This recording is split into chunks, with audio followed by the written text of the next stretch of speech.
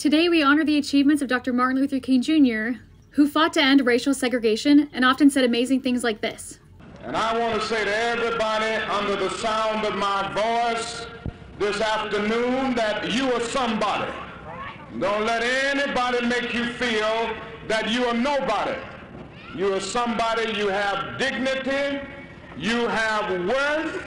Don't be ashamed of yourself and don't be ashamed of your heritage. Don't be ashamed of your color. Don't be ashamed of your hair. I am black and beautiful and not ashamed to say it. One publication said that his legacy inspires us to continue working towards a more just and equitable world. But did you know that certain Mormon leaders strongly disliked Martin Luther King Jr. and the civil rights movement? Ezra Taft Benson specifically spoke against Dr. Martin Luther King and his efforts. In his General Conference address spoken in April of 1965, that was later edited due to negative backlash, Elder Benson stated Before I left for Europe, I warned how the communists were using the civil rights movement to promote revolution and eventual takeover of this country. When are we going to wake up? What do you know about the dangerous civil rights agitation in Mississippi? Do you fear the destruction of all vestiges of state government? Do homework. Brethren, if we had done our homework and were faithful, we could step forward at this time and help save this country.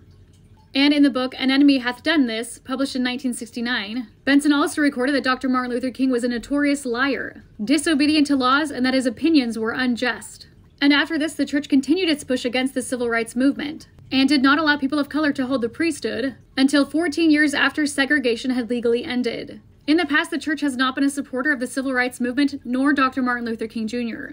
And yet, in 2022, current Mormon prophet Russell M. Nelson celebrated Martin Luther King Jr. Day and said in an Instagram post, I like to think that my friend Amos and I are, in a small way, the embodiment of Dr. King's vision that people from different backgrounds and races can sit down together at the table of brotherhood. And Nelson ended his post by saying, I reiterate what was taught in the Book of Mormon that black and white, bonded and free, male and female are all alike unto God. May God continue to bless us as we labor together to lead out in abandoning attitudes and actions of prejudice. Do you think the Mormon prophet would also reiterate the teachings of the Book of Mormon? That God cursed people because of their iniquity, and that they might not be enticing unto my people? The Lord God did cause a skin of blackness to come upon them.